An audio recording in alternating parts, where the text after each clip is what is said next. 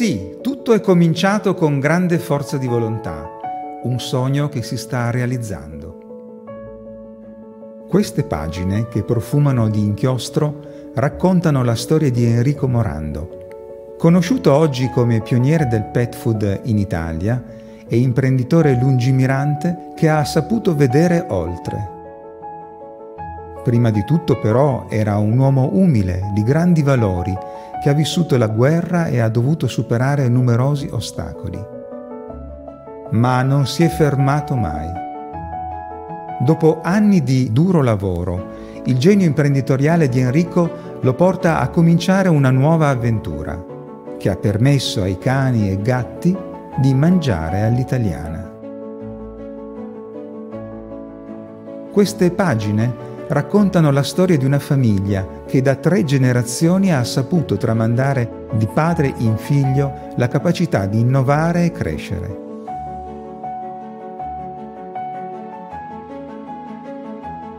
Sì, quelle parole mi hanno indicato la strada da seguire e affiancando mio padre ho iniziato la mia esperienza nell'azienda di famiglia. Lui mi ha guidato con affetto e rigore, anche quando è giunto per me il momento di supportarlo nella realizzazione di importanti siti produttivi. In questi anni ho riscontrato in lui, che aveva solo un'istruzione scolastica di base, una grande volontà di creare, una notevole capacità imprenditoriale e un grande coraggio a confrontarsi con personaggi di grande spessore nelle multinazionali e con importanti istituzioni un uomo di forte carattere, ma sensibile ed attento alle esigenze dei dipendenti e dei collaboratori, che tuttora lo ricordano con affetto e simpatia. Parlare di mio papà come figlio mi commuove tantissimo. Parlarne invece da imprenditore mi inorgoglisce per aver avuto un così grande maestro. Intelligenza, coraggio e lungimiranza erano le sue caratteristiche ed io, insieme a mio fratello Giovanni, abbiamo avuto il privilegio di stargli al fianco in tutto il percorso di crescita della nostra azienda. È stato un papà ed un imprenditore severo, ma col passare degli anni ho capito che lo sviluppo e la crescita di un'azienda richiedono comportamenti decisi e per tutto questo non finirò mai di ringraziarlo. Ciao papà. Con mio nonno ho passato molte ore semplici e serene. Non avevamo bisogno di fare grandi cose per essere felici. Non avevamo bisogno di fare grandi discorsi. Ho avuto la grandissima fortuna di passare molto tempo con mio nonno e questo libro, Non fermarti mai, è dedicato a lui. Soprattutto un titolo voluto e contingente per la situazione socio-economica in cui attualmente ci ritroviamo.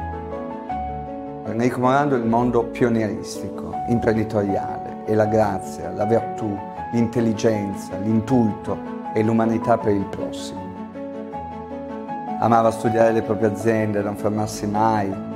Anche negli ultimi suoi anni di vita passò sempre fino all'ultimo le giornate in compagnia della propria famiglia, nel confrontarci, nel cercare di crescere tutti insieme per il bene dell'azienda stessa.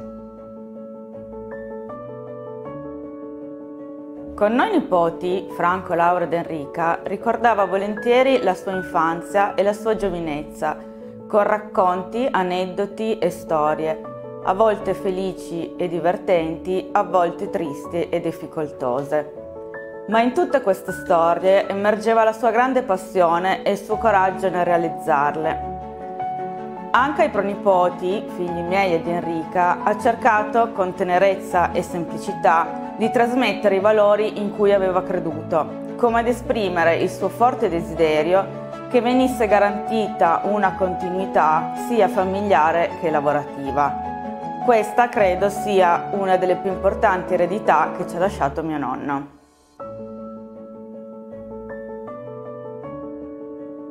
Ho ricordi molto dolci di mio nonno, pur non avendolo vissuto quotidianamente come mio fratello e mia cugina, non lavorando a stretto contatto con lui. Ricordo con affetto i pranzi della domenica, le nostre chiacchierate sulla mia università e i suoi consigli sempre molto lucidi. Solo lui era in grado di essere così razionale.